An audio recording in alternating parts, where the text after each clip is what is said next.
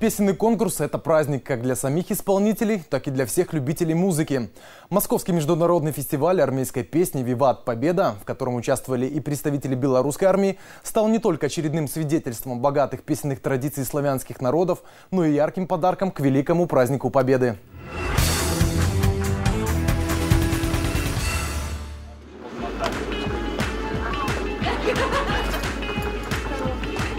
Пока не попадешь в фестивальную атмосферу, не узнаешь, насколько все это серьезно.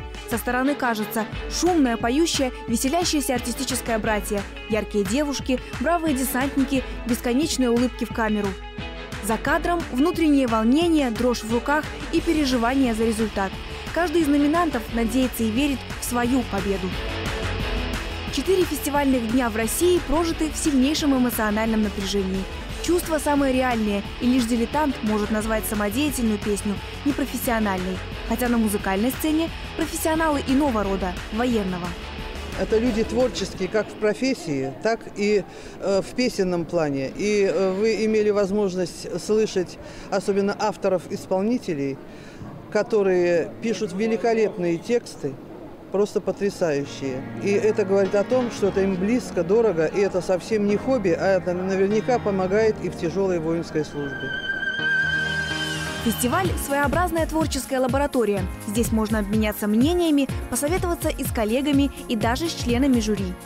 Белоруссия всегда привозит делегации и действительно на таком уровне, что всегда знаешь, что белорусы будут конкурировать на самом высоком уровне. То есть обязательно они будут в какой-то такой элитной группе, я бы так сказал, исполнителей, на которых можно посмотреть, можно показать людям, э, другим участникам и научиться на примере Белоруссии и белорусов, как относиться к своему делу. Как белорусы относятся к своему делу, становится ясно по окончании третьего дня фестиваля.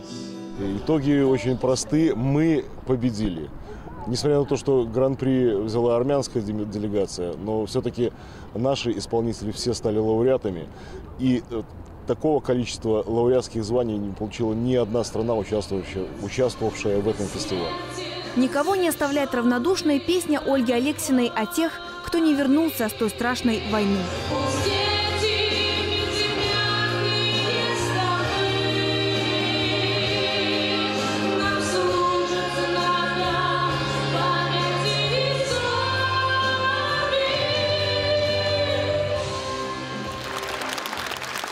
Заслуженная награда – вторая премия фестиваля. Лауреатом становится и наш коллега по телекомпании Николай Анисимов. Его песня о вертолете трудяги Ми-8 широко известна в Беларуси и России. Все равно летать охота, пусть по войнам меня носит я Ми-8.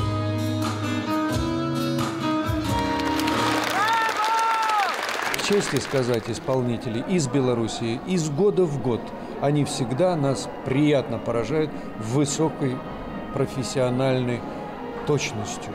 А, но помимо того, что всегда это музыкально, лирично, тепло, сердечно, глубоко по природе чувств.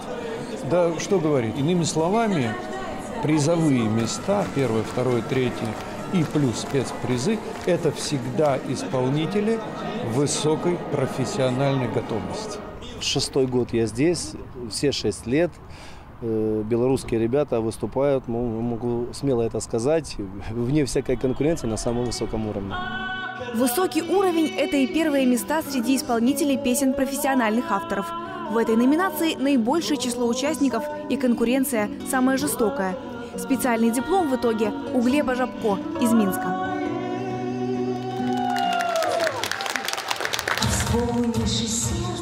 Хрупкая девушка с гвардейским знаком на армейском кителе покоряет жюри своим голосом и мастерством исполнения. Долгожданная победа Натальи Квашниной. Похоже, она и сама не верит в случившееся. Эта победа для меня далась не очень просто.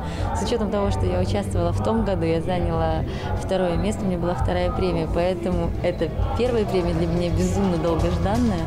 Ансамбль «ВИА спецназ» внутренних войск МВД Беларуси берет третий приз. В итоге ни одна конкурсная номинация не остается без белорусских лауреатов.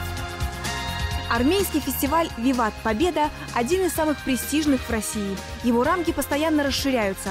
В этом году в нем участвовали почти две сотни исполнителей. Кроме российских музыкантов, привезли свои песни военные из Армении, Беларуси, Казахстана, Таджикистана и Украины.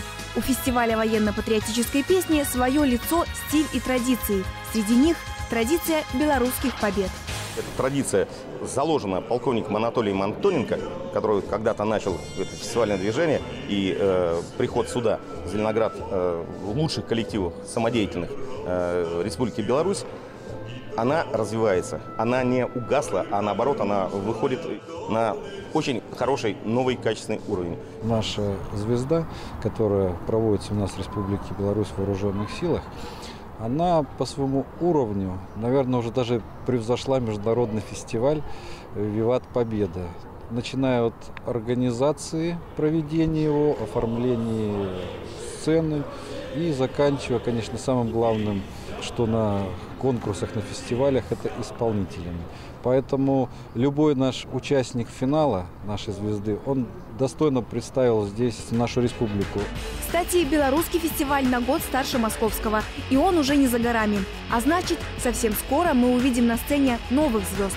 Звезд с погонами на плечах.